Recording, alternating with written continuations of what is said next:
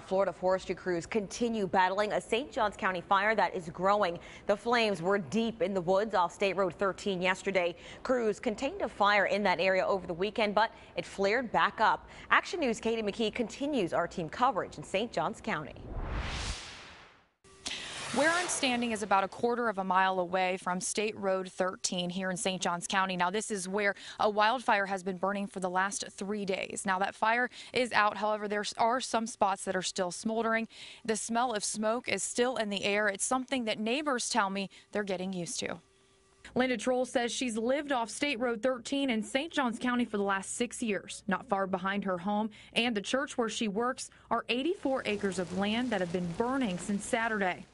Well, you know, my house backs up to those woods, and we're always afraid that, you know, if it comes on up, you know, our house could be in danger.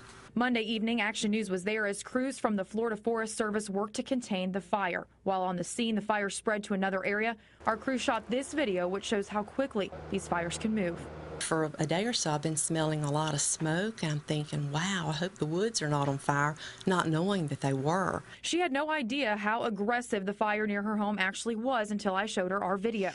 Oh, man. The Florida Forest Service says lightning started the wildfire and at this point is 80% contained, which means crews will be back out today checking on it. Reporting from St. Johns County, Katie McKee, CBS 47 Action News Jax. Right now,